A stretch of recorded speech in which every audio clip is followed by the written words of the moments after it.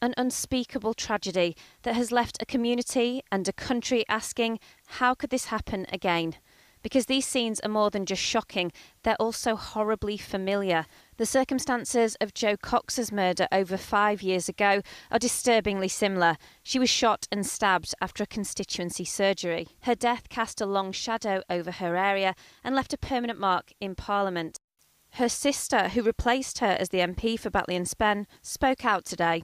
Totally shocked by what's happened to think that something so horrific could happen again to another MP, to another family, um, and scared and frightened and yeah, a real rollercoaster of emotions, to be honest. Paula Sherriff, former MP and friend of Jo Cox, experienced threatening behaviour herself when she was in Parliament. Personally, if I was still an MP, would I be doing a face to face surgery in the near future? No, as a consequence of what's happened today. No, no, I wouldn't.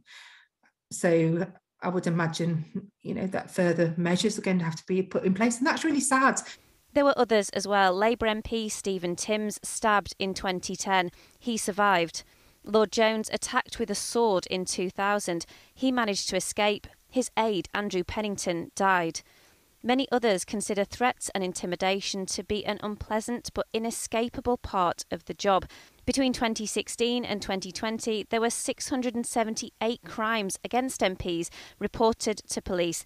And according to the Met, that number is rising they deliberately make themselves accessible to the public. They knock on doors to speak to the public and have surgeries where people can come in with any problems uh, they have. Uh, we can't cower to these sorts of uh, attacks. We've got to realise uh, that literally MPs are losing their lives. There are troubled people who do attacks like this. MPs aren't the only people who are attacked. And I think we ought to try to keep a sense of perspective and try to say we will face this together. We won't panic. Uh, we won't be ignore sensible advice, but don't let it put us off our job. In a book written by Sir David Amess, he talked about these issues, saying it was a shame that meetings between the public and politicians had become more restricted because of these threats. That was published less than a year before his tragic death today. Well, joining us now is the Conservative MP John Whittingdale, whose constituency of Maldon is further north here in Essex. John Whittingdale, thank you very much for coming on the programme and, and also sorry for your loss because you were very close friends, weren't you? You've known him for years. What's your reaction to this terrible tragedy today? Well, it is a. I'm, I think all of us in Parliament will be devastated by this news. You're, you're right. I've known David for nearly 40 years, um, and he's been a colleague as an Essex MP for 30 years. Um, he was hugely well liked right across Parliament.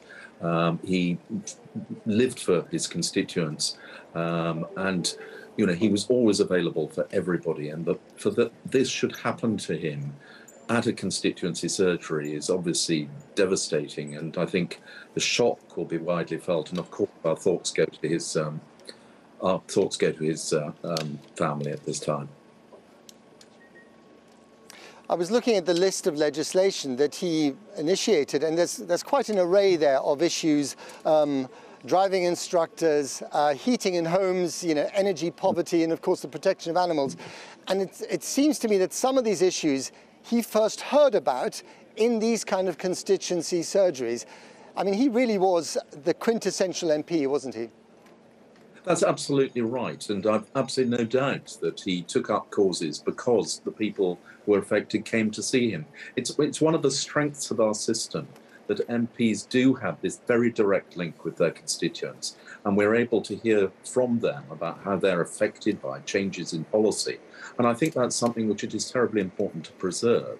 Uh, even though this terrible tragedy has happened, and, and sadly it is not the first time, um, but you know, the, the link between an MP and a cons- their constituents is terribly important.